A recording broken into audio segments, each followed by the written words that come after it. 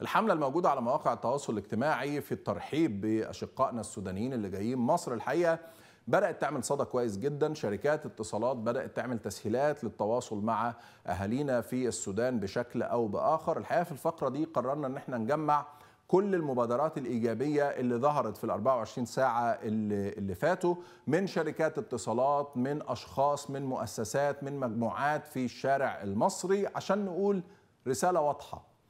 أي مواطن مصري سواء كان مسؤول في شركة أو مواطن مصري عادي أو أي حاجة في أي مركز في أي بوزيشن في في في المجتمع المصري فهو الطبيعي فيه إنه يرحب بالشعب السوداني. فهو الطبيعي والمنطقي والإنساني واللي إحنا متعودين عليه بحكم الدين وبحكم العرف وبحكم المجدعة وبحكم كل حاجة إنه أهلا وسهلا بإخواتنا في السودان.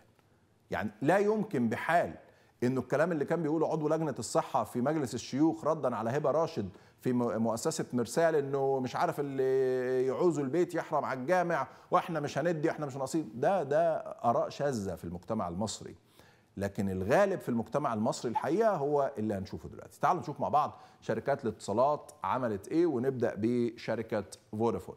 حرصا من فودافون مصر على مساندة ودعم عملائنا للاطمئنان على سلامة ذويهم في السودان. سيتم إتاحة المكالمات والرسائل الدولية وخدمات التجوال مكالمات ورسائل من وإلى السودان مجانا.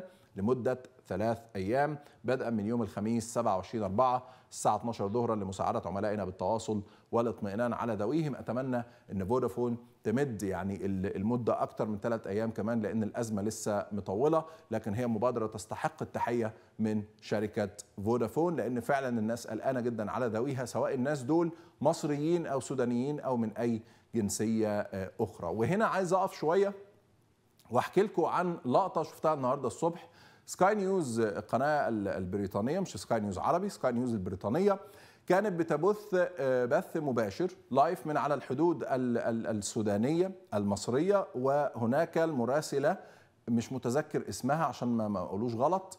فجأة وهي بتتكلم في النشرة وبتقول تقرير فشافت عمها أو خالها. وبعدين كانت لقطة مؤثرة جدا. الحقيقة والمقطع منتشر جدا على تويتر النهارده الصبح راحت احتضنته. انت انت فين؟ بدأ يطمنها عليه. بدأت المراسلة دي تبكي على الهواء. ده اللي عايز أقوله. انت الناس اللي ليها أهالي في السودان وأقرباء الوضع صعب جدا. زي بالظبط السنة اللي فاتت في حرب روسيا وأوكرانيا. زي قبل كده في اليمن. زي في كل مكان بيحصل فيه. زي أفغانستان برضو السنة اللي فاتت أو اللي قبلها. القصة بتبقى صعبة جدا وبتبقى بتحتاج إلى تعامل إنساني سريع. وده اللي إحنا بنتكلم فيه. عشان كده كل التحية لفودافون. نروح لشركة وي اللي أيضا نشرت بيان مهم قالت فيه تفقد أهلك وأحبابك في السودان مجانا مع وي. مكالمات أرضية مكالمات محمولة رسائل نصية مجانية لأي رقم أرضي أو هاتف محمول في السودان. طوال اليوم ابتداء من الجمعة 28 أبريل الساعة 6 الصبح صالح لمدة أسبوع واحد. شوف في حد يقول لي دلوقتي أسامة دي المصرية للاتصالات. أنت إيه اللي بتعمله ده؟ أنت بتشكر الشركة المصرية للاتصالات؟ آه. أنا بشكر الشركة المصرية للاتصالات وبشكر فودافون وبشكر أي حد في مصر زي ما قلت دلوقتي مسؤول أو مش مسؤول شركة أو فرد أي حد في مصر دلوقتي بيتعامل بما يمليه علينا ديننا وبما تمليه علينا إنسانيتنا وبما يمليه علينا ضميرنا في الترحيب بأهلنا في السودان وتسهيل التواصل مع اهالينا في السودان فهو على العين والرأس وهنوجه له الشكر والتحية على الهواء مباشرة.